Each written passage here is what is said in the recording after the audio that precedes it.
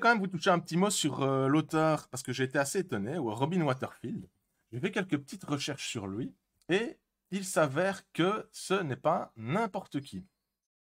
Ce n'est pas n'importe qui, c'est quand même un, auteur qui a du background. Euh, et c'est assez étonnant de le retrouver finalement comme auteur euh, de, de livres-jeux. C'est mieux.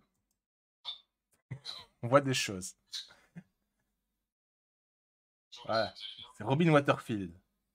Je suis allé sur son site. Web et euh, voici sa maison. Je suppose qu'il en est assez fier parce qu'en fait il habite dans une, euh, ancienne ferme en Grèce.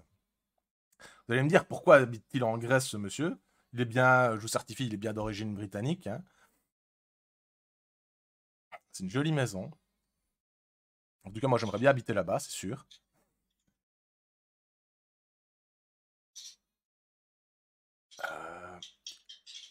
Il n'a pas écrit que les spectres de l'angoisse, il a aussi écrit La planète rebelle, euh, Les sauts de la destruction, euh, et deux ouvrages dont on n'a pas eu de traduction, Money Spider et Water Spider, et aussi Le voleur de vie. Bah, c'est son dernier en 94. Donc il a écrit entre 87, 85, euh, ah, c'était 85, c'était pas 87.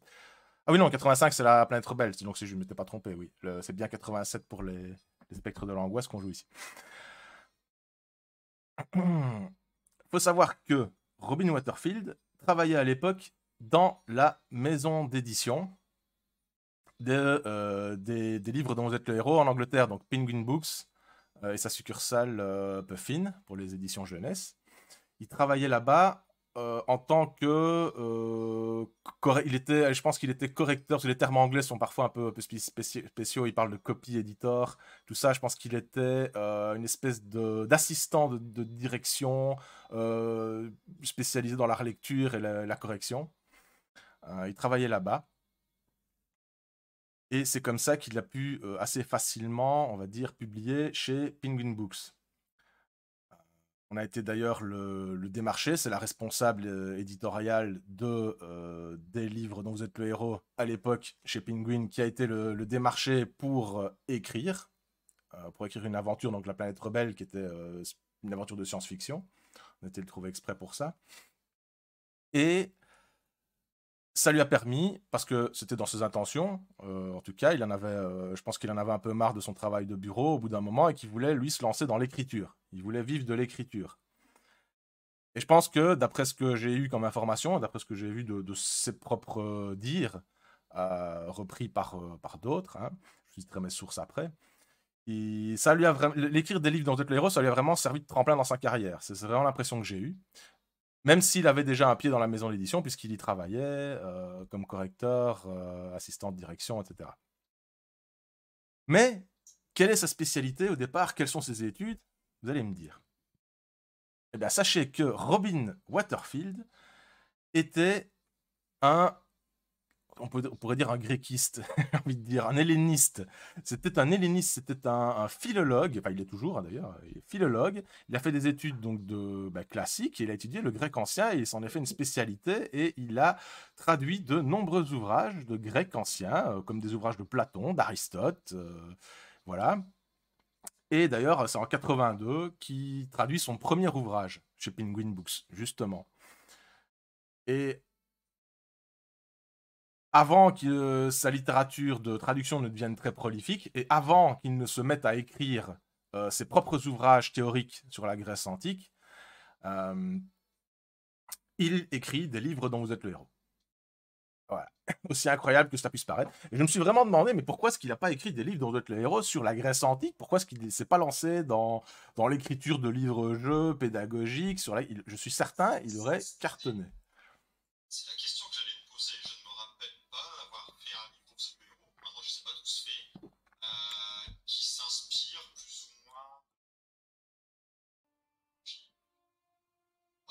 Voilà, voilà.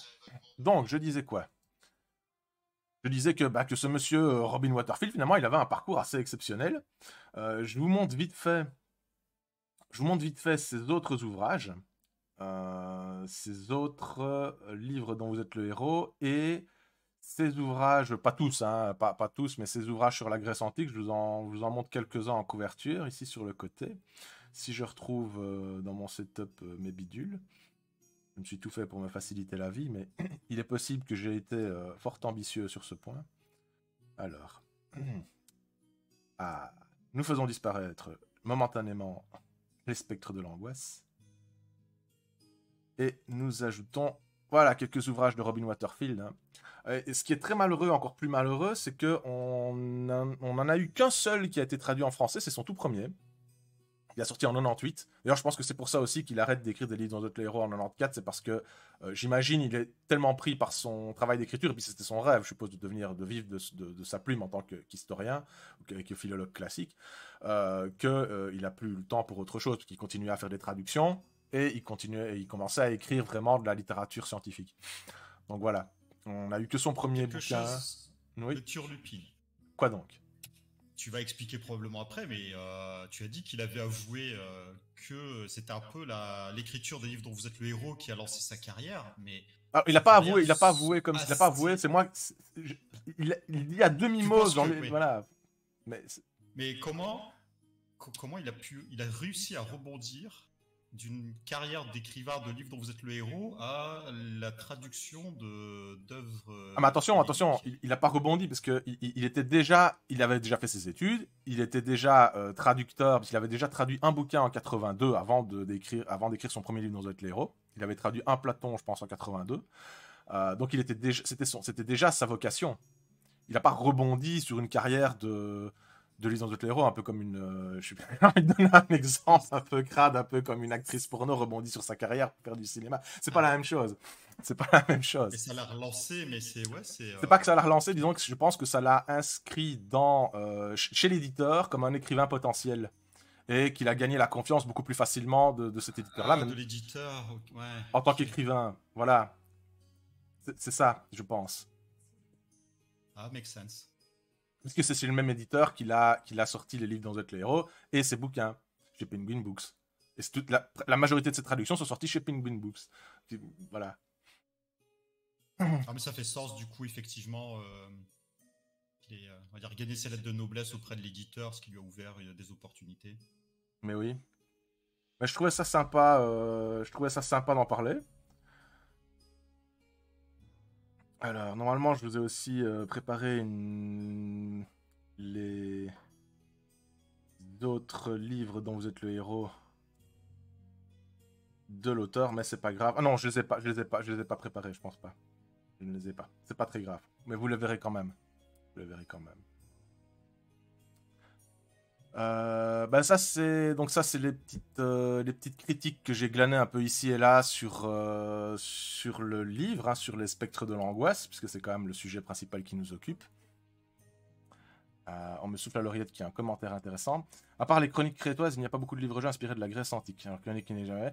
Bah, n'ait jamais écrit de livre-jeu inspiré de la Grèce antique, oui, mais ça n'aurait pas pu se situer dans l'univers des défis fantastiques. Et c'est vrai que, j'ai oublié de vous citer un détail, euh, détail d'ailleurs super important, c'est vrai que euh, non seulement il travaillait déjà chez Penguin Books comme euh, assistant de direction, correction, mais en plus, pendant une période, et je pense que c'était 86-88, et ça je le sais parce que je l'ai lu dans le livre de Jonathan Green sur l'histoire des défis fantastiques, il a été euh, responsable éditorial pour, la, pour Défis Fantastiques pendant une période assez brève.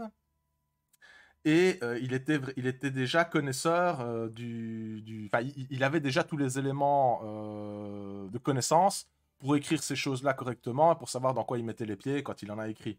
je pense que c'était déjà quelqu'un de connu dans, dans ce milieu-là. Euh, et, voilà. Et effectivement, il était peut-être euh, peut-être euh, trop, trop impliqué dans Défi Fantastique. et je ne sais pas, je ne sais, je ne sais pas si on lui aurait donné l'opportunité d'en écrire dans d'autres séries. Qui, sait s'il n'y avait pas des, contrats d'exclusivité de, de, ou des choses comme ça quand on écrivait chez Défi Fantastique. J'en sais rien. Là, je dis, je sais pas du tout. voilà, est-ce qu'il y a pensé ou pas? Et vu que sur son site internet il y a un formulaire de contact, moi je pensais clairement aller à sa rencontre et lui poser la question. Et pour le prochain stream, euh, peut-être qu'on aura la réponse. Voilà, je me suis dit, déjà, est-ce qu'il a pensé à en écrire? Pourquoi est-ce qu'il n'en a pas écrit? Et quel rôle vraiment ça a joué dans sa carrière? J'avais envie de lui poser ces, petites questions-là, voilà, sans, prétention, sans, faire une interview. Hmm? Une Tu petite interview, la classe. hein. Ouais, une toute petite interview, mais, sans, mais modeste, tu vois, sans, sans prétention. Je veux pas faire euh, des kilos là-dessus, mais voilà, je trouvais ça intéressant. Quoi, me- Moi, ça m'a intrigué, vu qu'en plus, je suis un passionné de Grèce antique, donc forcément, ça m'a parlé. Euh, donc voilà. Ça m'a posé question. Et si on parle des, des chroniques crétoises, je vais peut-être le, le montrer euh, subrepticement à la caméra parce que je l'ai. Je les ai tous les trois. chroniques crétoises. Bon, c'est un fond vert en fait. hein, derrière, euh, le décor est faux, ne vous laissez pas avoir.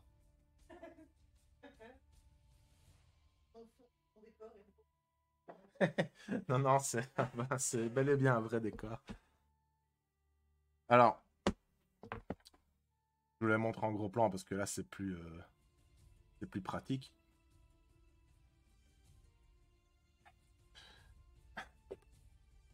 Odyssée d'Althéos. Labyrinthe du roi Minos. Je les montre dans le désordre, mais c'est pas grave. Et la vengeance d'Althéos, qui est en fait le premier. Voilà, ça, ce sont les, les ouvrages euh, cités par euh, Outremer. Touche donc à la mythologie, à la mythologie grecque. Et on avait aussi quelques exceptions, quelques ouvrages, voilà, dans le style Le Voyage d'Ulysse. Euh, mais c'est quasiment tout le temps euh, la mythologie qui est mise en avant, quoi. C'est pas vraiment l'histoire en tant que telle. Euh, Il y a peut-être eu un, un reds pédagogique sur euh, Socrate ou un truc comme ça, mais, mais ça s'arrêtait là, je pense. Alors. Ouf, ça va, je me suis pas trompé de scène. Tout va bien. Donc, ouais, voilà. Euh, euh, Donc, ouais, moi j'avais envie de lui poser la question pourquoi est-ce qu'il n'en a pas écrit, quoi? Ça m'aurait fait plaisir qu'il le fasse. Donc, quelques petits mots sur le, spectre de l'angoisse, hein, puisqu'on revient sur notre sujet principal.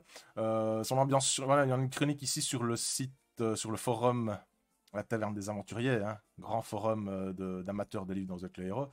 Euh, son ambiance surnaturelle, ses descriptions champêtres, enchanteresses d'une forêt magique oscillant entre luxuriance et désolation, son scénario d'elfe chaman et ses illustrations Lovecraftiennes signées Yael Miller euh, font des spectres de l'angoisse un véritable ovni dans le bestiaire des défis fantastiques. Je pense qu'il a pas tort. C'était qui qui avait écrit ça? C'est Marmouscule, ça me rappelle des souvenirs.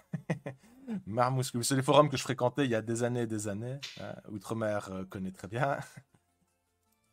ça faisait longtemps que j'avais plus mis les pieds.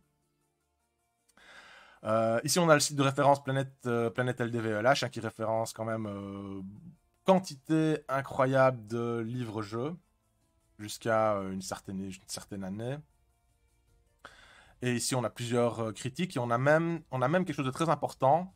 On a un, une erreur relevée par euh, Dagonide. Ici, on dit qu'au paragraphe 100, les directions nord-est ont été inversées dans les choix. Ça veut dire que quand on arrive, si on arrive au paragraphe 100, il faudra se rappeler que quand on nous propose le nord ou l'est, en fait, il faut inverser les deux choix. Moi, quand je, quand je, commence un- quand je recommence un livre dans le héros euh, de, de la vieille époque, je vais d'abord voir sur Planète LDVLH les errata. ça, ça évite bien des désagréments. C'est scandaleux des errata comme ça, ça me, ça me scandalise. Et il y en a, y en a eu partout. Et, et-. C'est en écoutant là, aussi l'interview de Monade Pracontal dont je parlais. euh, euh, c'est- L'éditeur ne revérifie pas. Il y a, y y quelqu'un qui relit un peu, qui vérifie s'il n'y a pas des coquilles ou quoi. euh, mais personne personne n'était chargé de revérifier à, à ça, à- à- à- aux spécificités de ce type de, de, de- de na- de narration. Quoi. Personne n'était là pour revérifier s'il y avait des erreurs de paragraphe. Personne ne faisait une arborescence. per- Voilà, donc c'est clair que ça explique pourquoi il y a. paragraphe 14, ça. Donc voilà, ici, qu'est-ce qu'on peut trouver d'autre? Bah voilà, un livre très original et grandement déroutant. Euh,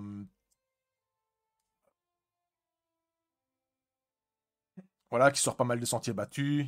La mission est très classique, euh, mais euh, voilà, l'ambiance est très particulière. Voilà, c'est globalement le même genre de, de critique qui revient, mais on trouve aussi au, dehors des sites de passionnés. On retrouve, euh, vous les voyez, quelques couvertures de- d'autres éditions, notamment l'édition japonaise. Qui, elle, euh, la japonaise, là, je sais pas si c'est la tchèque, ouais, c'est ça, euh, qui a gardé, euh, qui, a, qui ont gardé la couverture originale. quoi. Il n'y a, que les Français qui ont changé de, de couverture. Ouais, par le- la, palette de couleurs, ouais, c'est la même chose sinon. Et donc voilà, une, une belle critique aussi sur le site, un autre site de référence, la Bibliothèque des Aventuriers. Euh, on dit il y a également pas mal de combats, ce qui nécessite à la longue d'avoir de bonnes statistiques. Les moins de 10 en habileté rencontreront sûrement pas mal de difficultés à ce niveau-là. Et même si l'histoire en elle-même n'est pas des plus originales, Euh, c'est une critique qui revient. Le personnage principal et le système de jeu le sont. J'espère qu'on va pouvoir vérifier ça. On en parle aussi sur, euh, Sci-Fi Universe. Hein? Bon, on va dire grosso modo, on dira le même genre, le même genre de remarques. Voilà. hein. Et même chose sur d'autres sites, sur Booknode, là où on a vraiment des, des- des novices en, en la matière, on va dire. Voilà, même, même là-bas, on trouve des, des bonnes critiques. Donc je pense que voilà, le choix peut être sympa. Le choix peut être sympa. Pourquoi toi as-tu retenu celui-ci? Pourquoi moi j'ai retenu Parce que, parce que celui-ci m'avait laissé un excellent souvenir. Parce que on y joue autre chose qu'un qu'un bête humain. Euh, et parce que je trouvais qu'il y avait euh, raccord avec la campagne. Euh, parce qu'on va parler aussi d'un démon, d'un prince démon qui s'appelle Ishtra. Qu'on nomme d'ailleurs Ishtrak dans la traduction, française, mais vous savez que les traductions françaises de l'époque étaient quand même assez aléatoires. hein. Il s'agit bien de Ishtra, le démon, le prince démon Ishtra. D'ailleurs, dans la version, dans la VO, c'est Ishtra, c'est pas Ishtrak. Je sais pas pourquoi on a rajouté CK à la fin, je sais pas. Et, et par voilà, parce, parce, que je trouvais que le, que le potentiel, le potentiel au niveau de l'ambiance était chouette, que, euh, que jouer un elfe, un elfe des bois, bah, c'était original, et qu'on allait donc pouvoir euh, faire écho à la campagne par ta- certains aspects. Voilà. Moi, j'ai choisi pour ça. Parce que j'en avais moi-même gardé un bon souvenir. Ok. Voilà, voilà. Je dis ça parce qu'il en a un petit paquet dans sa collection, donc euh, puis il connaît un peu bien l'univers, donc essaye de savoir. Pourquoi les celui-là et pas un autre fait Mais oui. dit, Tiens, celui-ci, ouais. Et puis parce que c'est un qui est un peu abandonné.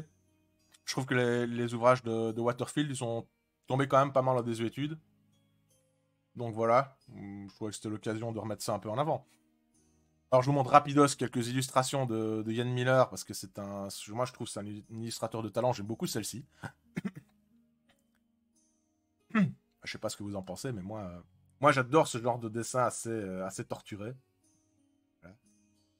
Donc Ian Miller, celui qui fait les illustrations euh, à l'intérieur. Un style. Et voilà la fameuse interview de Monade Pracontal dont je vous parle depuis tout à l'heure. hein, si vous voulez jeter un œil, voilà, c'est sur ce site-là que ça se passe, le podcast dont vous êtes le héros. Je vous la recommande. Très sympa. Voilà, voilà pour la parenthèse intellectuelle. Je vais pouvoir enlever mes lunettes. Alors, enlever. vous savez pas quoi? La fois dernière, j'avais fait en semi-boutade. hein, on s'était posé la question. Finalement, Robin Waterfield, l'auteur des Spectres de l'Angoisse, on avait appris qu'il était euh, en fait un helléniste, un spécialiste de la Grèce antique qu'il avait publié des tas de bouquins, notamment euh, principalement des traductions, mais aussi des ouvrages d'études sérieux, très sérieux sur la question, malheureusement non traduits en français.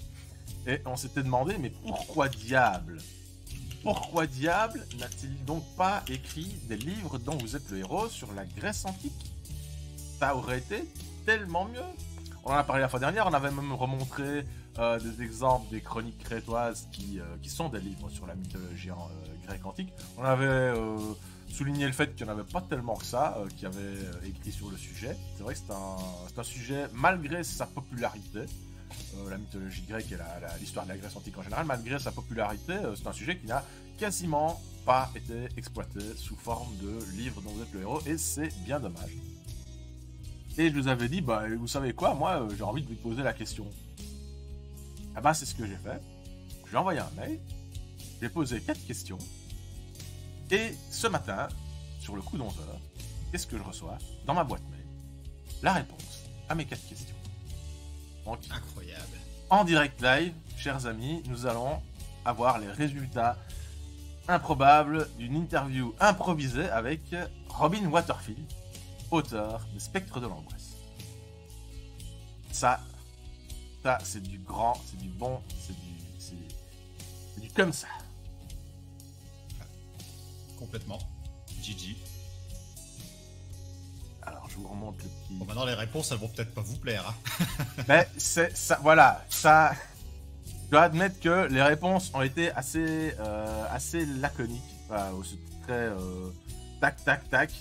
Question-réponse. Ah, moi recevoir question, moi répondre. C'était très. euh, voilà. Ah bah bonjour, du grec, hein, bonjour monsieur, voilà. au revoir monsieur. voilà. Néanmoins, néanmoins, il m'a répondu. euh, et c'est chouette. C'est chouette. Alors, pour être sûr, euh, j'ai vérifié quand même qu'il est- qu'il en est pas écrit parce qu'on avait les, les fameux euh, Money Spider et je ne sais plus quoi Spider. euh, bah, qui n'étaient pas des défis fantastiques, il y en avait écrit deux comme ça chez Penguin Books. Ouais. J'ai vérifié que par hasard, si c'était pas des trucs sur la mythologie ou la Grèce antique, c'est pas du tout le cas. Néanmoins, ils valent le détour. C'est dommage qu'on les ait pas eu en français non plus, parce qu'en fait, euh, ils utilisent un système sans dés pour ces bouquins-là. C'est des histoires, c'est des enquêtes en fait, euh, des enquêtes policières, dans un monde plutôt moderne, je pense. Et euh, on voit ici sur le site de référence game- gamebooks.org hein, de Katz, qui est bien connu des passionnés. Euh, c'est un- un- une encyclopédie, on va dire, de référence des livres de héros euh, ang- anglaises, voilà, euh, anglo-américaines, euh, mais qui référence aussi des bouquins d'autres langues, dont des français. Et alors ici, on a, voilà, mot, mot de passe, ou je sais pas exactement quelle est la traduction de co- code word, tu vois, c'est un truc du genre indice, mot de passe, un truc comme ça, parce que c'est, voilà, il n'y a pas de jet de dés, et le but de- des aventures, c'est de récolter des- des indices, voilà, pour évoluer dans l'enquête. Voilà, j'ai lu vite fait une petite, petite critique qu'il y a sur le site, qui est celle-là d'ailleurs, hein, et celle, celle-ci, voilà, critique d'un certain Guillermo, voilà, qui est, qui dit que, que voilà, qu'on n'utilise pas les dés et que euh, finalement ce- cette aventure-là, elle brise le mythe euh, du, de, qu'une aventure peut pas être complexe sans introduire de jet de dés. C'est-à-dire que apparemment on a réussi à créer un système qui est un peu relevé, un peu compliqué, euh, sans forcément avoir un, des stats, euh, des de dés, euh, un côté aléatoire. Voilà, c'est peut-être un peu le pari qu'avait relevé la série Destin aussi, qu'on connaît bien. Et voilà, moi, j'ai pas grand chose à dire sur cette série-là, je la connais pas, je l'ai jamais eu entre les mains, voilà, je n'en sais que ce que l'internet en sait. Donc si vous voulez vous renseigner sur la question, bah, allez voir sur le site de, de Demians, hein. et vous serez tout aussi bien informé que moi. Et coucou Easy Peut-être que Smarties n'a pas dit que c'était le truc parfait pour moi. Un truc sans genre les 7D, c'est c'est fantastique. Voilà, C'est vrai. idéal pour euh, Le les gens qui ratent leur jet de dés tout le temps. Non, mais là, on, est, on collabore ce soir. Donc, euh, Dans l'échec, mais on collabore. voilà. Et donc, qu'est-ce qu'il nous raconte Robin Waterfield? Donc, voici les réponses à mes questions. Alors moi je lui ai demandé euh, dans- quelle mesure le, fait d'écrire des, ga- des, des gamebooks, a influencé sa carrière en tant qu'auteur? Et il me répond que ça lui a donné une certaine... euh, ça lui a quand même euh, forgé une certaine pratique de la littérature adaptée à un public différent, euh, somme toute un public plus jeune, un public d'adolescents, euh, et que ça lui a permis donc de, de tra- de travailler sa façon d'écrire de sorte qu'elle soit moins, moins académique que ce à quoi il avait été formé. Et que, euh, bah, euh, en plus, bah, ça lui a permis de, de se faire de l'argent, évidemment, de, de renflouer les caisses euh, au moment où il était très très jeune auteur. Quoi. Je rappelle quand il a commencé à faire les gamebooks, il n'avait que euh, un ou deux bouquins de, de traduction euh, à son actif. quoi. Ensuite, je lui ai demandé. Je lui ai demandé. Bon, l'inter- l'interview qui défile euh, en, anglais euh, juste euh, sur, le, sur le Twitch. hein. donc, si vous voulez regarder les réponses exactes, moi je vous, vous traduis pas mot à mot, je vous explique, je vous résume ce qu'il m'a dit. Mais grosso modo, comme je le dis, il était très, très laconique. Donc, c'est pas. Vous Je, je n'enlève rien de la substance de ce qu'il a raconté. Alors, qu'est-ce que je lui ai demandé? Pourquoi vous n'avez jamais écrit bah, des livres-jeux sur la Grèce antique? Parce que nous, on aurait trouvé ça chouette. Et il répond bah, tout simplement parce que les fighting fantasy, euh, les, défis fantastiques, euh, ne faisaient pas de ça. Donc il sous-entend dans sa réponse, là, je trouve ça intéressant, il sous-entend dans sa réponse que ben euh, ouais j'ai pas écrit de mythologie antique ni d'histoire euh, de l'antiquité grecque parce que fighting fantasy c'était pas inclus dans leur background. Ok. Ben, ça lui a pas empêché d'écrire deux bouquins, on vient de le voir, des enquêtes policières qui ont absolument rien à voir avec fighting fantasy. Donc, je sais pas, la réponse, elle me. Bah. Moyen. Ah, Je te, Moi, je j'ai te laisse, de je la que- parole après si tu veux bien, mais elle- elle- la phrase continue. Et il dit simplement. euh, voilà, qu'ils ont créé leur propre monde. Et euh, voilà, bah, en fait, je me répète. Il, il se répète, il dit simplement voilà, que Fighting Fantasy n'avait pas besoin des mini Excuse-moi, donc il voulait dire, euh, Sam? J'étais en train de dire qu'en fait, dans sa tête, j'ai l'impression qu'il ne se voyait pas écrire un jeu de livre dont vous êtes le héros en dehors de la série des défis fantastiques en fait. Toi, il l'a fait. Toi, il l'a fait. Il a écrit Money Spider, entre autres, et le tome 2. Même peut-être beaucoup plus tard, après il était peut-être passé à autre chose à ce moment-là, il l'a pas fait. Il a écrit sur la fin. euh, son dernier défi fantastique, il a écrit en 94, c'était Le voleur de vie. Et ceux-là sont parus juste avant. Ah, ouais. Maintenant, faut Donc, il a quand même- produit, quand ça a été édité, mais ouais, ouais. Donc, donc, euh, donc moi, moi, ça- moi, voilà, je me suis dit, est-ce qu'il y a quelque chose qui dit pas ou quoi? Enfin, j'en sais rien. hein, je, fais des, je fais des suppositions. Faut pas prendre ce que je dis pour argent comptant. hein. Moi, je vous lis l'interview, elle est authentique. Euh, c'est une chance, mais ma, ma pensée sur la question, c'est tout à fait euh, discutable. Moi, je ne prétends pas avoir la, détenir la vérité, mais je me demande, est-ce qu'il...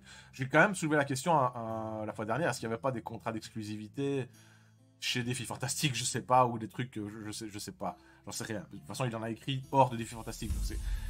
Mais peut-être que c'est Penguin Books qui lui avait demandé d'écrire, euh, peut-être qu'il ne faisait rien en dehors de ce qu'on lui demandait d'écrire, et en dehors de ce que Fighting Fantasy permettait d'écrire. C'est une supposition. Voilà. Je me suis dit, euh, voilà, peut-être qu'il n'a pas décidé par lui-même, il n'a pas eu l'idée de décider par lui-même d'en écrire et d'aller voir un autre éditeur pour, euh, pour les faire publier. Presque toute sa bibliographie est, est chez Penguins, quoi. Quasiment toute sa bibliographie. Alors, qu'est-ce qu'il nous raconte d'autre? Pourquoi avez-vous arrêté d'en écrire? Bah, il dit simplement, bah voilà, parce que Puffin, Puffin, il faut comprendre, Puffin par rapport à Penguin, c'est comme Folio Junior par rapport à Gallimard, quoi. C'était la, la section jeunesse. Euh... Puffin a arrêté de les publier, euh, voilà. Et donc, du coup, euh, ils, ont, ils ont été vers euh, quelque chose de.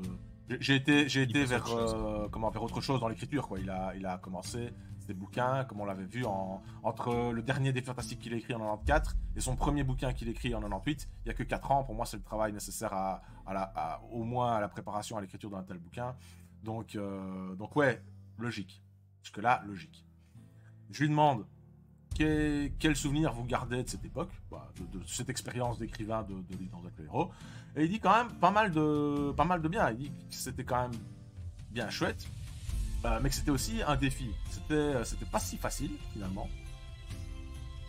Euh, c'était pas si facile de faire émerger tout cet univers fantasmagorique et de comment bah, de créer les combats, tout ça. Enfin voilà. c'était, c'était pas apparemment pour lui c'était, c'était quand même quelque chose de, de pas acquis quoi. Quand même, ça nécessitait un travail, une préparation mentale pour arriver à ça. Et euh, qu'est-ce qu'il dit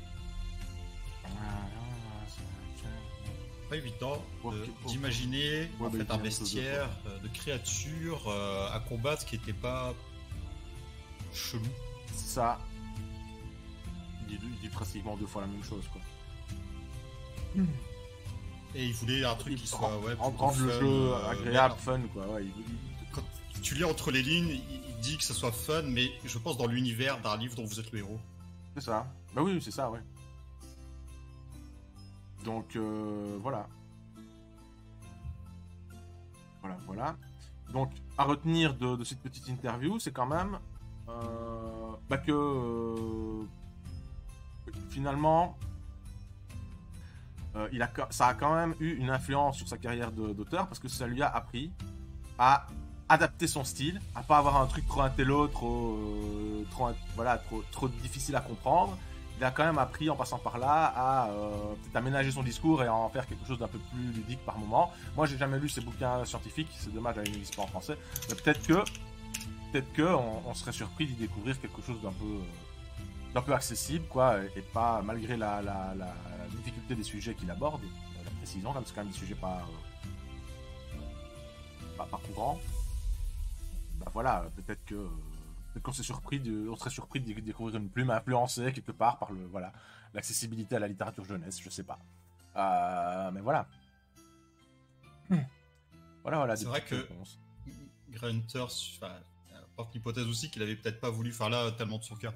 Peut- Peut-être qu'il se disait que de ce qu'il connaît de la mythologie, etc., euh, est-ce que c'était crédible de faire des aventuriers affronter genre un Minotaure alors que c'est bien qu'il y ait assez peu de chances quand même que tu Bah, puisses. euh, On, on en trouve un Minotaure hein, dans le. Je crois que c'est- quand même c'est dans le sorcier de la montagne de feu. Ouais, tu sais, dans, ouais. dans le bestiaire de diversité, tu trouves tout n'importe quoi. hein. Dans, dans le créature du titan, tu trouves des Pégases, tu trouves des Minotaures. Ouais. Il aurait pu, il aurait très bien pu sélectionner ce, ce, ce bestiaire-là et en faire quelque chose. mettre, mettre, Ouais, la- on mettre est- ça à On l'avant. est en presque dans le demi-dieu, tu vois, des fois, et tu te dis, est-ce qu'un humain, il peut. Ouais, je sais pas. On on aurait, ouais, il aurait pu. Il aurait pu, hein. J'avais pas envie de le titiller, de lui poser des questions trop précises, parce que bon, je voulais pas abuser de son temps, mais en plus, je le sens pas super réactif non plus, même s'il a quand même répondu bien gentiment, mais je pense pas qu'il aurait été emballé pour une interview de 30 questions, quoi.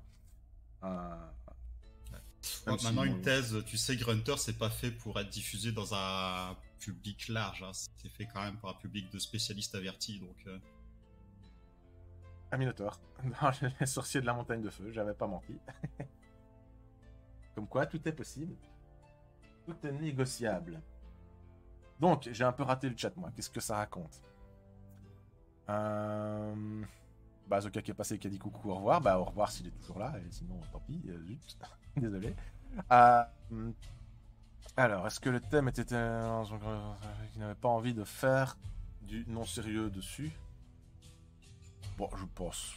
Je sais pas, j'en sais rien, je, je sais pas. Ça aurait été intéressant de lui poser la question, mais bon, voilà. Euh... Webs of Intrigue, c'est ça. N'ont pas l'air d'être édités par Puffin. Euh... Qu'est-ce que c'est les Webs of Intrigue? Les, les livres de Spider, si, si, si, si. Si, si, c'était c'était chez Penguin. C'est pour ça, c'est pour ça que je posais que je posais la question et que je me disais, euh, je me disais, Drivo, si euh, est-ce qu'il y aurait eu des contrats d'exclusivité chez Penguin et chez Fighting Fantasy euh, qui auraient fait qu'il n'aurait pas pu écrire autre chose? Bah, j'en sais rien. Je sais pas.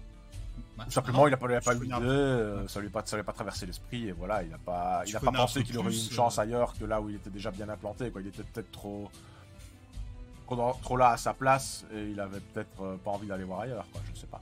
il, il- il en a écrit combien en fait? Et il y a eu combien de temps entre chaque livre? Est-ce qu'il y a eu seulement le temps de faire autre chose que ce qu'on lui a commandé?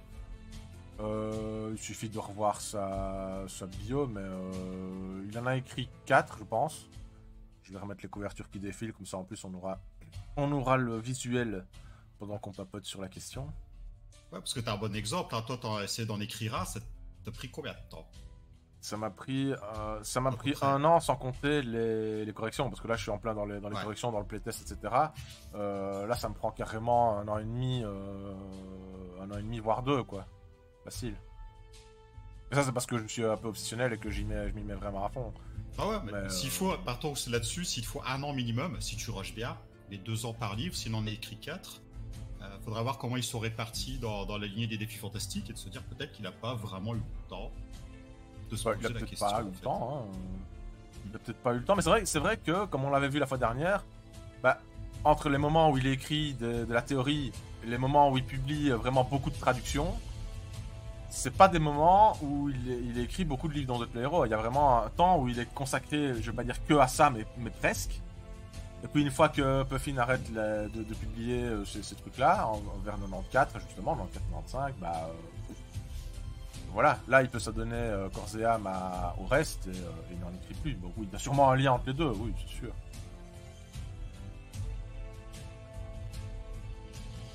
Alors. Hmm. Cartel universitaire totalement illisible, bah oui, ça, bah oui. Il y a des, des auteurs, euh, ils peuvent être aussi érudits qu'ils veulent, ils savent pas écrire, oui, ça c'est. Dommage. Bah intéressant, bah j'espère. J'espère. Alors. Je parle de livres de façon classique. L'aspect thèse, c'est clairement la façon dont ces livres sont écrits. Bah oui. Une façon de se distraire et écrire autre chose. Bah je crois, de se distraire, je pense pas. Je pense que ça a vraiment. D'ailleurs, il le dit dans sa réponse, ça a été challenging, ça a pas été facile, mais ça a été une opportunité pour lui de. de... Il s'est- rendu compte qu'il pouvait atteindre un style qui n'était pas le sien au départ. Donc je pense qu'il a vraiment pris ça pour quelque chose de professionnel. Il a vraiment fait ça euh, de, de- vraiment de manière intellectuelle, en temps c'est ce qu'il est, Euh, et qu'il en a retiré une expérience euh, de, ce niveau. Je pense qu'il n'a pas fait ça juste pour se détendre. Je pense, qu'il a vraiment vu une, opportunité professionnelle de d'écrire, de se faire connaître comme auteur, même si c'était pas dans son domaine, et d'entraîner sa plume. Je, crois vraiment qu'il l'a pris de cette manière-là. Là, j'avais su, moi je sais pas, aujourd'hui il doit avoir laissé 30 ans. Moi, je suis continué au début des années 50. Euh, il devait avoir, du coup, la trentaine, la grosse trentaine. Enfin, il a écrit ça, je pense. La, la, la trentaine, ouais, la trentaine. Voilà, voilà. Solide. Oh, euh, la semaine prochaine, euh, l'interview du président des éditions. Ouais.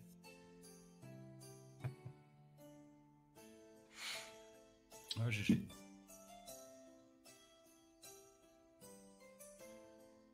Je vais enlever le petit bidule. Est-ce qu'il est Il est là. Ah voilà, on retrouve la petite feuille d'aventure, le petit chat, la petite caméra.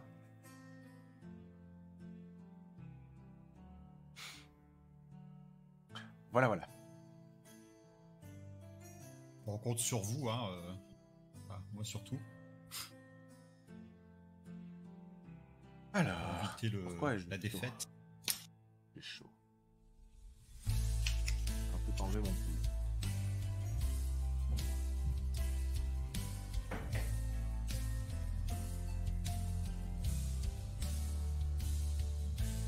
Bon, bah, on est prêt. On voit les couvertures qui défilent là. Les, les couvertures en VF et en, puis en VO, j'ai- je les ai intercalées. Alors, ces bouquins sont pas réputés pour être les meilleurs de la série. Euh, ils sont pas souvent euh, repris par les fans en guise d'exemple, Euh, notamment par le fait que, pour le fait qu'ils sont euh, bah, difficiles. Et je vais envie de dire une difficulté qui n'est pas justifiée. C'est une difficulté un peu arbitraire, une difficulté de un équilibrage pas, pas terrible, des adversaires trop forts, bah, du du one true pass, hein, une seule voie possible. Ça, on, on- on- on le voit légèrement avec le bouquin qu'on fait pour le moment. Et euh, voilà, un côté très arbitraire, quoi. C'est lui qui décide quand on utilise les sorts, par exemple. C'est pas nous, enfin bon. Euh, voilà, donc je pense que, euh, voilà, il n'a pas... Il, aurait peut-être eu tort de faire carrière dans le livre dans The Héros. Ou alors, ou alors peut-être que les, ces livres sans jet de là, sont mieux. Peut-être qu'il y trouvait mieux son compte, hein. peut-être que, peut que c'était plus son style. J'aurais été quand même curieux d'en lire. Mais bon. Pas entendu parler de ces aventures policières. Bah, elles vont, normalement, elles, vont défiler dans le. Si elles, n'ont pas déjà défilé, parce que là, ça recommence. Euh, je peux remettre le, site. euh, sur, sur- sur- si tu vas sur le site de Demian Katz, euh, si tu tapes bah, Waterfield, tu vas trouver. ces deux ouvrages policiers où il n'y a pas de jet de dés et où apparemment l'aventure relève d'une certaine complexité euh, par le fait de trouver, de devoir trouver des indices. Euh, les indices sont codés euh, sous forme de, chiffres. Ça, je sais pas très bien parce que j'ai- pas eu le livre sous les yeux, donc je sais pas dire exactement en quoi ça consiste. Mais apparemment, ça avait l'air assez corsé et ça avait l'air pas si mal fichu. Et c'était curieux de savoir qu'il avait écrit d'autres bouquins que les défis fantastiques. Euh, D'ailleurs, il, y en a- eu deux. Il a écrit d'autres bouquins, mais chez Penguins, toujours évidemment. Et c'est parce que dans, l'interview, je sais pas si, si était là quand, j'ai parlé de l'interview. Euh, Ouais, les jets de dés sont une aberration dans une aventure policière. Bah, on a vu les Sherlock Holmes. euh, je sais plus s'il y a des jets de dés dans les Sherlock Holmes. Il y a quand même, il y a quand même des jets de dés, je crois, mais il y a quand même, cette dimension de, découverte d'indices, de d'enquête, évidemment. euh, euh, Peut-être à la limite dans un dans une phase de combat ou de course poursuite ou de de, scènes d'action qui relèvent d'autre chose que de l'enquête. euh, Peut-être que les jets de dés pourraient avoir leur place. Euh, sinon, je disais quoi? Ouais, dans l'interview que j'avais traduite tout à l'heure On trouvait ça curieux qu'ils disent que il n'a pas écrit de livre sur la mythologie antique parce que, parce que dans Fighting Fantasy, il s'occupait pas de ça. Alors que d'une part, on a soulevé le fait que, bah oui, dans, le bestiaire de Fighting Fantasy, on peut trouver des minotaures, des pégases, tout ce qu'on veut, et on pouvait très bien en faire une popote, euh, une, popote euh, très personnalisée qui colle aussi bien à la Grèce antique qu'à qu'à Défi Fantastique. Euh, on trouve même des espèces de sorcières, type les, moires et ces trucs-là, quoi. Mais, mais on trouvait surtout, surtout ça curieux qu'il qu'il emploie cet argument-là, alors qu'il en a écrit deux qui ne sont pas des défis fantastiques. Des enquêtes policières. Qu'est-ce que bah, Voilà, maintenant, il n'y a pas de complot derrière, derrière cette histoire, mais ça m'a juste interpellé. Je me suis dit, tiens, c'est drôle, drôle, drôle de réponse. Bon. Il y a des chances. Ah, ah, ah, De mon souvenir, il y a deux façons de gagner, mais l'une est quasi impossible. Alors oui, évidemment, euh, avant d'entreprendre le, avant de choisir les spectres de l'angoisse, je me suis un peu renseigné quand même sur la bête. hein. Bah, je l'ai faite il y a très longtemps, euh, mais il y a tellement longtemps que n'aurais été incapable de me rappeler euh, des tenants et aboutissants et des subtilités euh, narratives. Et moi, j'avais gardé un bon souvenir parce que c'était l'ambiance. L'ambiance, je la trouvais vraiment extraordinaire. Et puis en plus, c'était original puisqu'on va pas jouer un simple humain lambda. pas du tout. Ici, dans le spectre de l'angoisse, on va incarner un elfe des bois. Donc, mes héros, apprêtez-vous à entrer dans la peau d'un elfe des bois. Et en plus, la narration, elle est à deux niveaux. Ça, je vous en dis pas trop parce que vous allez le découvrir dans, l'aventure. hein, euh. Euh, mais ça, j'avais bien aimé vraiment l'ambiance. C'était plutôt le, voilà l'aspect narratif euh, et l'aspect découverte du background des, des elfes, tout ça, c'était assez intéressant. Maintenant, au niveau de la jouabilité, au niveau du gameplay, euh, il est vrai que euh, après avoir reparcouru quelques critiques et chroniques dans, à divers endroits, euh, il semblerait que l'œuvre soit de manière globale assez, assez félicitée pour son originalité, mais, mais on lui prête également les mêmes travers qu'à beaucoup d'autres aventures de, de l'époque, à savoir une certaine linéarité. On n'est pas loin de, du One True Pass, mais cet, avis est nuancé euh, parce que, voilà, comme tu le dis, il y a deux façons de gagner. Voilà, donc ça veut dire qu'il n'y en a pas qu'une seule, il y en a au moins deux. Mais il est vrai, euh, elles ne sont pas équivalentes du tout. Donc euh, on n'a pas intérêt à se perdre entre les deux possibilités. Je ne sais pas si c'est possible d'ailleurs de, vraiment de se, de se planter, d'avoir de faire une moitié, une moitié de quête et finalement se retrouver à le, cul entre, deux chaises, on va dire. Mais, euh, mais on va découvrir ça et j'espère qu'en tout cas le- l'expérience euh, l'expérience n'en sera pas euh, endommagée. Désolé si je cherche mes mots.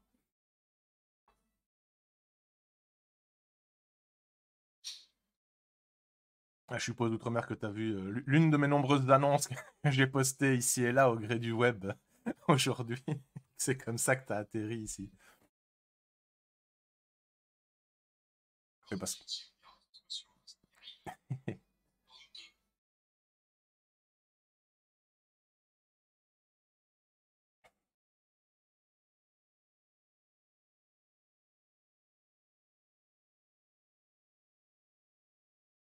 Bon.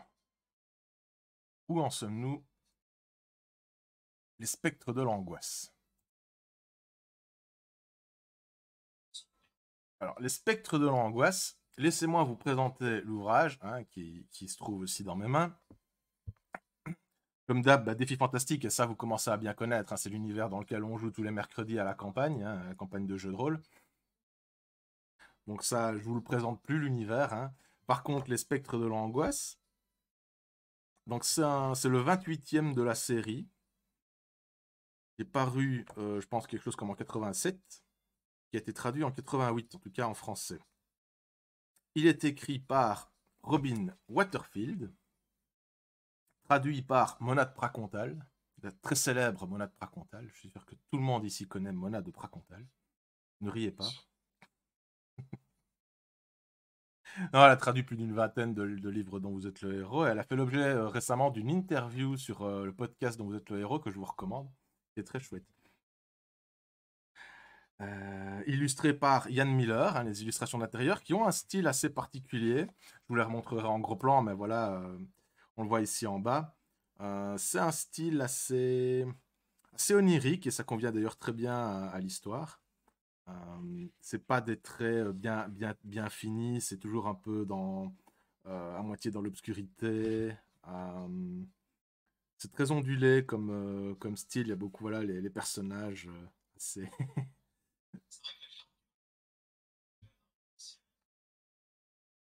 Oh, homogène, ça dépend, oui. C'est pas les mêmes illustrateurs qui faisaient tout, mais en tout cas, il y avait la, consigne, c'est clair, de faire du noir et blanc et de, jouer beaucoup sur les ombrages, il me semble. Ça, quand même, c'était une constante. La couverture est d'Henri Galeron, en tout cas pour l'édition française. Pour l'édition euh, britannique, c'était aussi Ian Miller. D'ailleurs, c'est euh, étrange qu'il n'ait pas gardé, comme ça, ça, ça aurait ajouté du, on va dire, de la cohérence euh, au graphisme. Je vous montre vite fait la couverture euh, originale. Là, on voit tout l'aspect tout l'aspect tortu, torturé des illustrations d'Ian Miller, qui est quand même assez chouette. Mais je comprends que peut-être euh, chez Gallimard, il se soit dit ouais non ça ça passera pas, ça passera pas, on va changer. Je sais pas. Je sais pas ce qui, je sais pas si c'est pour des questions de droit d'auteur ou euh, ou de que je sais pas pour des économies ou pour euh, que ça coûtait plus cher d'avoir l'illustration originale que de- d'en commander une nouvelle? Je ne sais pas. Je sais pas du tout.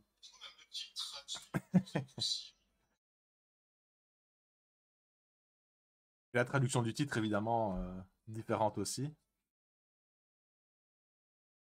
Sur ça, on en apprend sur l'interview de Monad Pracontal, on, on apprend euh, la façon de traduire l'anglais, et en tout cas pour des ouvrages tels que ceux-là, pour les ouvrages de fantasy et compagnie dans les années 80, euh, c'était pas pareil que maintenant. Quoi. Maintenant, on a une habitude plus, euh, plus claire de l'anglais, on va dire, et où les, les lecteurs de l'époque de, ces livres-là, qui étaient adolescents, sont aujourd'hui adultes. Si on devait retraduire les mêmes livres pour le même public, on, on le ferait certainement pas de la même façon.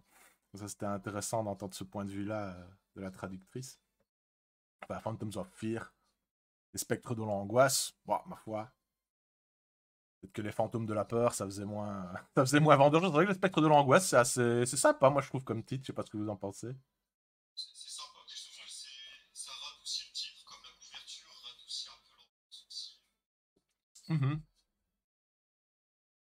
Mais La couverture, elle est quand même bien space. hein. Elle est quand même dans le ton, dans le ton euh, du bizarre. C'est pas trop bien ce qu'on voit en fait.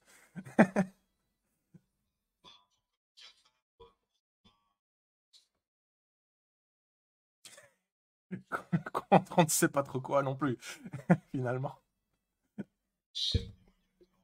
Mais c'est le, côté- c'est le côté, sataniste parce que dans le, on retrouve le mot sataniste ou satanique dans le résumé.